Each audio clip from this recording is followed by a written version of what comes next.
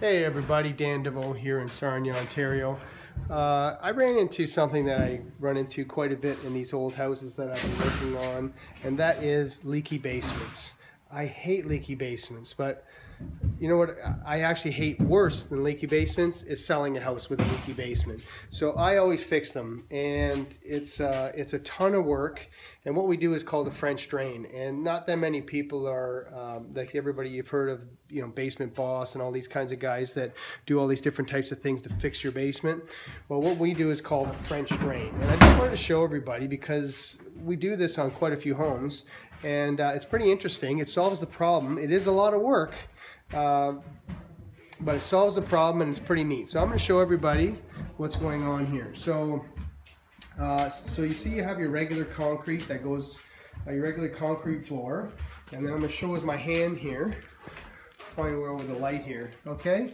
So what we did was we cut the cement. See the see where my hand here is? We cut the cement between here and the wall. Okay, we cut a, a foot there.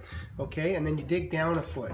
And what we do is we put some uh, perforated pipe in the hole here. Okay, big O they call it. And what happens is when the see see on the wall here, you can see where we drilled some holes. We drilled there we go Okay, so we drilled holes all the way along the bottom so that when the water comes down the wall, instead of uh, coming out on the floor, now it's going to come through the holes and it's going to make its way into this little pit that we've made here. And it's going to collect the water and what's going to happen is it's going to travel all the way along the wall here. And right there is a big giant hole at the moment and that thing right here is going in there. And what's going to be what's going to happen here is there's going to be a sump pump in there and it's going to pump the water out. And voila, we have a dry basement.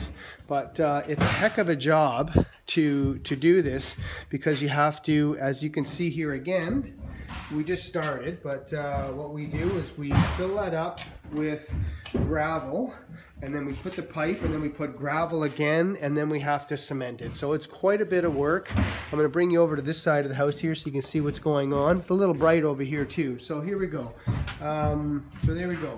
See, I'll show you right down here. There we go. There's a better view of what's going on. So there's our drain over there, okay? And then uh, it goes all the way around like this. So we have to cut this out all the way around the whole basement. Okay, see the way the water's been, that's where the downpipe was coming down the wall on the outside. So a lot of water was getting in that way. So now that we're putting this uh, French drain in here, problem solved. I hope you like this video and I'm gonna show everybody, uh, we're gonna do a little series. And after we cement this, I'm gonna do another video and show you what it looks like. Have a great day everyone.